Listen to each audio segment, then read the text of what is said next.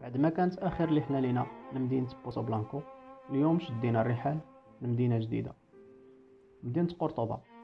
اعظم واهم مدينة بالأندلس مدينة قرطبة مدينة العلم والعلماء. فيها تواجد العديد من العلماء. بينهم عبد الرحمن الداخل وموسى بن نصير وطارق بن زياد. في هذه المدينة تواجد العلم والإيمان في نفس الوقت. وهنا أيضا كان كيتواجد للأسف محمد الصغير الذي بكى وقالت له والدته ابكي مثل النساء ملك مضاع لم تحافظ عليه مثل الرجال.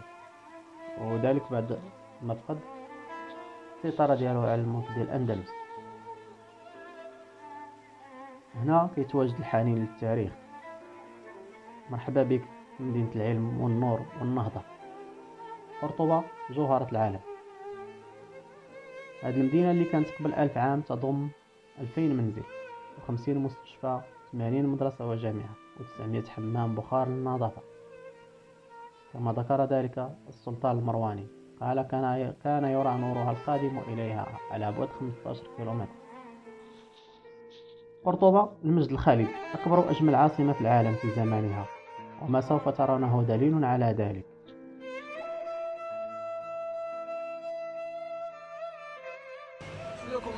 نحاولوا أننا الآن نستقلوا آه، الطوبيس رقم ثلاثة باش أنه هو اللي غادي يدينا المسجد ديال قرطبة يعني هو أكبر مسجد آه، في أندلسيا. غادي نحاولوا نشوفوه ونمشيو نصوروه. خليكم معنا.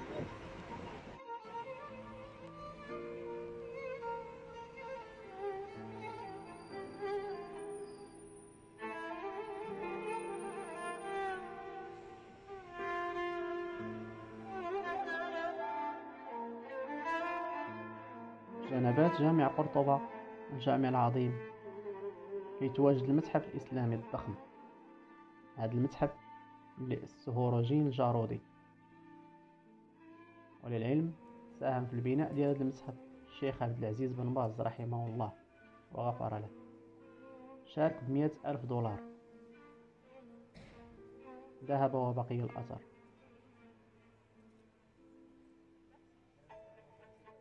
الساحة ديال هذا المسجد كتربع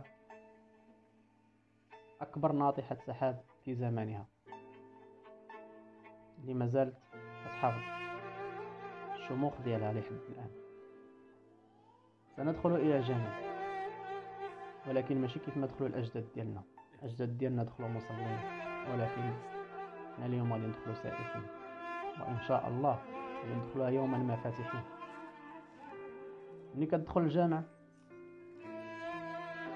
تلقاك مشاهد لا تستطيع وصفها تضعف أمامها القوة لعظمة هذا البناء والشموخ ديالو الصلابة ديالو ولكن هناك مشاهد لا تصدق العين بعد أن كان هذا الجامع جامع المسلمين ما هو اليوم؟ راح يدرس في الإنجيل. والله المستعان. كان كيصلي في الجامع في صلاة الجمعة 80 ألف مصلي في الوقت اللي كانت فيه. باريس لا يتجاوز عدد سكانها عشرين ألف نسمة وكان يدخل يوميا إلى المسجد. أربعة آلاف طالب علم يثنون الركب أمام علماء. أمام ابن رشد والقرطبي وابن حزم وغيرهم من العلماء. جلس على هاته السواري ابن رشد وأملى كتابه بداية المجتهد ونهاية المقتصد. اتكأ عليها القرطبي رحمه الله ليخرج لنا طلابه تفسير القرطبي فينتشر في أنحاء العالم. وتخلف الطلاب بين يدي ابن حزم لينشروا مذهبه. مذهب الظاهرية في أنحاء المعمور سادوا ثم بادوا لكل شيء إذا ما تم نقصانه فلا يغر بطيب العيش إنسان هي الأمور كما شاهدتها دول من سره زمن ساءته أزمان. وهذه الدار لا تبقي على أحد ولا يدوم على حالها شان.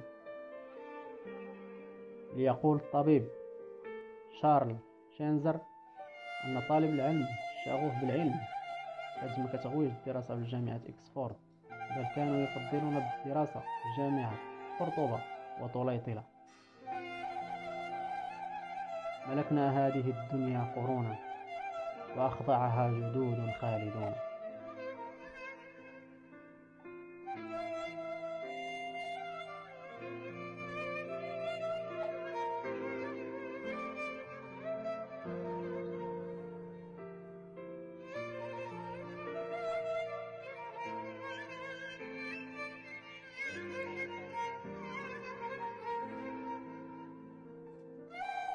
مباشرة خلف الجامع الأعظم وفي آخر هذا الزقاق وجدنا مسجد للمسلمين لا زال حتى الآن.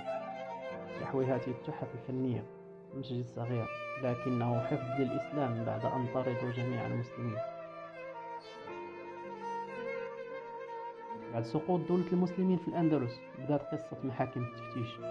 كان مجرد يشكو الإسلام ديال أحد يبدأ في التعذيب ديالو. فما بالك بمن كان إسلامه حقيقي؟ استمرت محاكم التفتيش في الأندلس 350 عام بصفة رسمية استمر الإسبان ينكرون وجود محاكم التعذيب تقتحم عليهم نابليون بونابرت. وبدأ في البحث الجدي عن محاكم التفتيش. وبدأوا يبحثون ويرسلون الجنود ودخلوا الكنائس وسألوا الأسقف فأنكروا ذلك. حتى قدر الله يوم من الأيام أن ينسكب الماء على أحد أرضيات الكنيسة. فدخل الماء ولم يطفى على السطح فأمر نابليون أن تنقب تلك الأرضيات فلما نقضوها وجدوا تحتها من أدوات التعذيب ما جعلهم يصعدون مباشرة. ويتقيؤون كل ما في جوفهم. من شدة ما رأوا من آلات التعذيب. أخذت تلك الأدوات ووضعت في متحف خاص. لا زالت حتى الآن لتكون شاهدا للعالم على ظلم الإسبان للمسلمين